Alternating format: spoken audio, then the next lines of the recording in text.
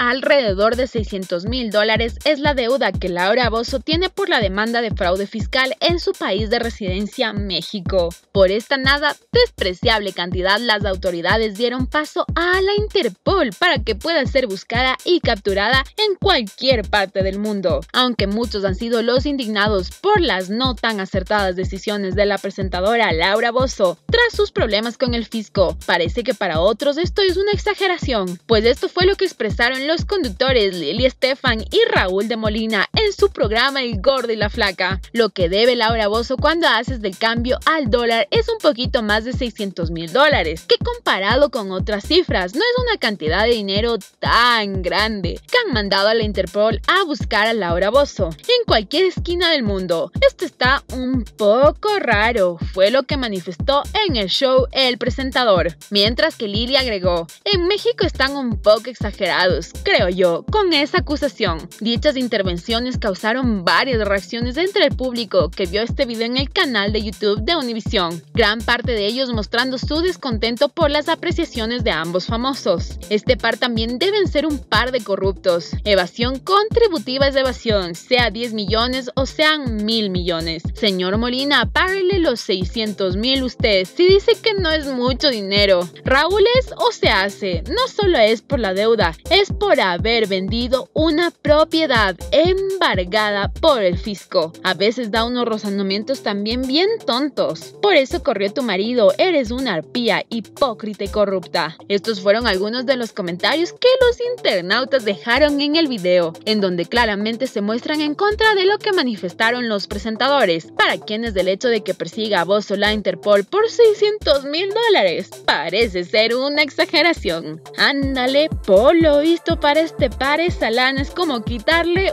un pelo a un gato. Además, en medio de este rollo, Lily y Raúl aprovecharon para meter en la colada a Gloria Trevi, quien también estuvo en el ojo del huracán en estos días por asuntos de evasión fiscal y lavado de dinero. Asimismo, según la reportera Elizabeth Curiel, mientras la conductora peruana ya es buscada en 190 países por el que muchos creen es un delito menor y podría ser privada de la libertad, el hecho que se haya detenido la investigación en contra del intérprete de pelo suelto no quiere decir que pueda cantar victoria pues al igual que Bozo, ella también está metida hasta el cuello en un problemón. Y la cereza del pastel para finalizar con este polémico tema, la puso un experto en asuntos financieros, quien sobre la situación de ambas famosas indicó, cuando se trata del delito de lavado de dinero sí implica la detención de la persona, mientras que la evasión fiscal puede concluir una vez que se llegue a una negociación con la secretaria de Hacienda en México. Con esto aclaró que existe la posibilidad de que la abogada del pueblo logre una nueva negociación para no ir al bote pero que en el caso de Trevi esto está más complicado y sí podría ir a prisión. ¿Y tú qué opinas? ¿Te pareció adecuado que Raúl y Lili hayan expresado que es una exageración que la Interpol busque a Laura Bozo por 600 mil dólares? Te leemos en los comentarios y si te gustó nuestro video no olvides dejarnos tu like y seguirnos para más información del mundo del espectáculo. Todo el entretenimiento en un solo lugar, ella y online.